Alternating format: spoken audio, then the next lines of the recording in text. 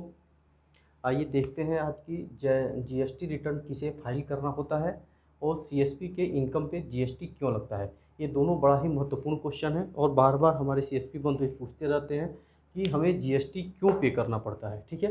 तो दोनों एक दूसरे के पूरा क्वेश्चन है। तो पहले देखते हैं कि जीएसटी रिटर्न किसे फ़ाइल करना होता है, ठीक है?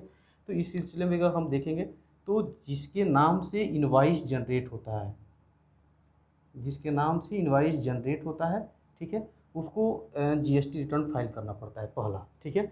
दूसरा है कि जिसका इनकम 20 लाख से ज़्यादा है इनकम इनकम मतलब इसको टर्नओवर आप काउंट करेंगे, जिसका टर्नओवर 20 लाख से ज़्यादा है जीएसटी रिटर्न उसको फ़ाइल करना होता है, ठीक है?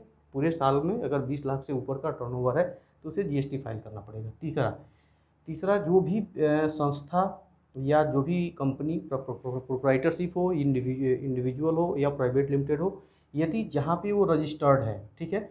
उस रजिस्टर्ड जहाँ पे उसकी जी रजिस्टर्ड है, इसके अलावा, ठीक है? जो होम स्टेट है मतलब जहाँ पे जीएसटी रजिस्टर्ड है, ठीक है? उसके अलावा कहीं और वो सर्विस दे रहा है या प्रोडक्ट सेल कर रहा है तो उसको जीएसटी रिटर्न फ़ाइल करना पड़ेगा, ठीक है? चौथा, जिस भी संस्था या इंडिविजुअल व्यक्ति यदि वो ऑनलाइन काम कर रहा है ऑनलाइन ठीक है? ऑनलाइन सर्विस दे रहा है या प्रोडक्ट सेल कर रहा है, ठीक है?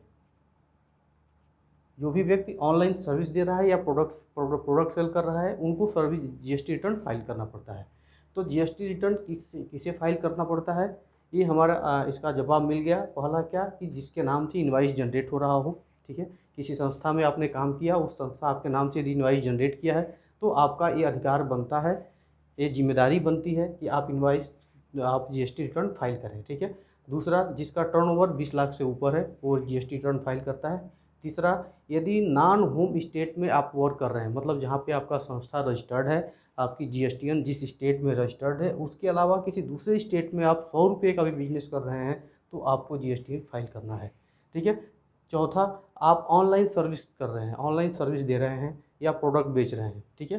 तो आपको जीएसटी रिटर्न फ़ाइल करना है। यहाँ भी कितने रुपए का हो? जैसे स्विगी हो गया जोमेटो हो गया फ्लिपकार्ट हो गया अमेजन हो गया जितनी भी ऑनलाइन की चीज़ें हैं आप देख रहे हैं यहाँ पे अगर जोमेटो के थ्रू आप पचास रुपये का भी कोई प्रोडक्ट ऑर्डर कर रहे हैं तो आपको उसमें जीएसटी ऐड करके आपको देना पड़ता है ठीक है? जीएसटी पे करना पड़ता है। तो ऑनलाइन जो भी आप प्रोडक्ट यू, यू, यूज़ कर रहे हैं या जो भी ऑनलाइन आप सेल कर रहे हैं तो आपको जीएसटी देना पड़ता है, फ़ाइल करना पड़ता है, ठीक है? ये क्लियर हो गया? अब आते हैं अगली लाइन की सीएसपी के इनकम पे जीएसटी क्यों लगता है, ठीक है? तो सीएसपी के इनकम पे जो जीएसटी लगता है, इसके पीछे का रीज़न ये है कि सीएसपी ऑनलाइन काम करता है, ठीक है? जो अपना चौथा था कि ऑनलाइन जो भी व्यक्ति काम करता है, सर्विस प्रोवाइड करता है या प्रोडक्ट बेचता है, उसको जो है जीएसटी रिटर्न फ़ाइल करना पड़ता है, ठीक है? तो जब जीएसटी रिटर्न उसको लगता है उसे जीएसटी फ़ाइल करना पड़ता है तो सीएसपी को भी जीएसटी रिटर्न फ़ाइल करना होना चाहिए था। केवल कटता है यहाँ फ़ाइल नहीं किया जाता है।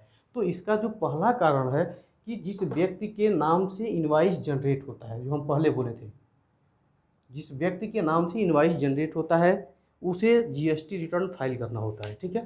तो जो जी जो सीएसपी का इनकम हो, हो, होता है ठीक है यह जो इन्वाइस बैंक जो है जो भी इन्वाइस कर देती है वो सीएसपी के इंडिविजुअल नाम पे नहीं देती, वो बीसी के नाम पे होता है। ठीक है? तो इनवाइस जिसके नाम पे होता है, कहने का सेंस है तो बीसी के नाम से इनवाइस होता है, इसलिए बीसी को पे करना होता है जीएसटी ठीक है? तो ये क्लियर हो गया होगा कि जीएसटी क्यों देना पड़ता है, ठीक है? क्योंकि वो ऑनलाइन सीएसपी काम करता है। दूसरा, वो जीएसटी फ़ाइल इसलिए उसे करने की ज़रूरत नहीं है, क्योंकि बीसी इसके बदले में जीएसटी फ़ाइल कर देता है, ठीक है? सीएसपी के बदले में बीसी सीएसपी जीएसटी फ़ाइल करता है। इसके पीछे का रीज़न है कि इनवाइस जो है बीसी के नाम से बैंक देता है। यदि बैंक जो है इंडिविजुअल सारे सीएसपी के नाम से देने लगे तो सारे सीएसपी जो है अपना रिटर्न फ़ाइल करेंगे, ठीक है? यहाँ तक क्लियर हो गया। अब एक लाइन और हम ऐड करते हैं इसमें। यदि इंडिविजुअल सीएसपी है कोई, जो इंडिविजुअल सीएसपी है, ठीक है? यदि वो किसी बीसी से टाइप नहीं है, जिस बी का मतलब इंडिविजुअल है, ठीक है? तो इंडिविजुअल सीएसपी के के सामने ये होगा कि बैंक जो है डायरेक्ट वीसी को इंडिविजुअल जो भी सीएसपी है, उसके नाम से इन्वाइस जनरेट करेगा। और जब इन्वाइस इंडिविजुअल वीसी के नाम से इंडिविजुअल सीएसपी के नाम से जनरेट होगा तो ज़ाहिर सी बात है इसको अपना जीएसटी फ़ाइल करना पड़ेगा। ठीक है? तो मुझे लग रहा है कि बातें क्लियर हो गई होंगी। ठीक है? अगले वीडियो में हम देखते हैं कि जीएसटीएन क्या है। ठीक है? जीएसटीएन क्या है? जीएसटीआर क्या है? जीएसटीआर क्या है? जी क्या है? ठीक है? और भी दो तीन शब्द हैं, ठीक है? थ्री वी क्या है, ठीक है? ये सारी चीज़ें हम देखते हैं अगले वीडियो में। Okay bye